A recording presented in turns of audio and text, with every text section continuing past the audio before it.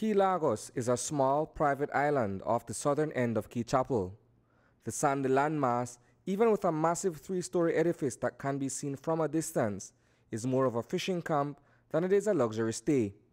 That's because the building remains under construction. It is here that two men were shot and killed in the early hours of this morning. One of them is said to be the caretaker of the property.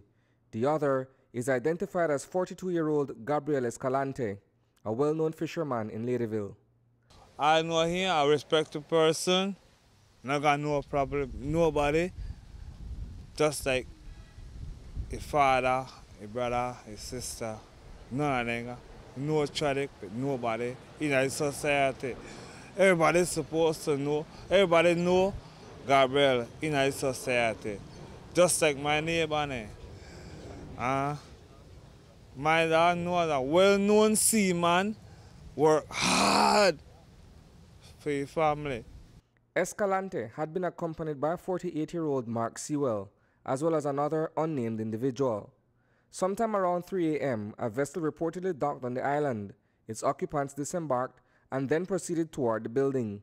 The trio was upstairs on the third floor socializing when things went terribly wrong. Sewell's cousin, Lisa Brandon, spoke with News 5 this evening. Because we don't expect nothing like this would ever happen to Mark. No Mark Sewell. No my cousin. No, he was killed along with um, with Gabriel Escalante. I understand they worked together and they were friends as well. They was they were friends. They were real good friends. Like I said, they're from the village, so everybody know them guys. They're not no trouble people as far as I know, because I raised around my cousin. So I know Mark never did do no kind of drugs. That's for sure. Caye Lagos is situated approximately four miles south of Caye Caulker. When police visited that location just before dawn, they discovered the bullet-riddled bodies of both men. According to Brandon, the other unidentified man was the one who sounded the alarm that there had been a deadly shooting. Yes, there was a third person. Um, he's the one that, that made the report to the police to let them know that what was happening on the island. So that's when we get the news about um this morning. I think like what time about seven. like a little bit after six, we got the news about what happened to Mark. Yes. And so that person, it would seem, escaped with his life. Yes, he did. He did, and thank God he did because I mean, I guess nobody really may know what happened to Mark until somebody really go back on the island and check what probably happens. What Brandon admits to hearing in the wake of the double homicide is that a robbery had taken place in Caye Caulker sometime prior to the armed assault on the lifelong friends.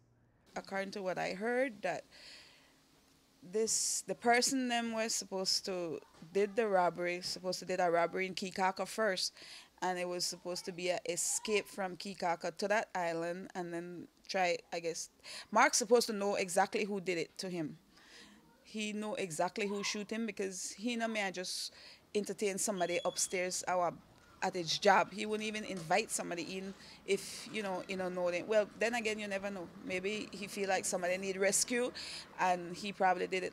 You know, try to help somebody. Police, on the other hand, are saying that Sewell and Escalante were along with a third person, and that individual may have been the one who turned on them with lethal force. That account is being disputed by friends and relatives of the deceased, corroborating the angle of a robbery on Caye Caulker.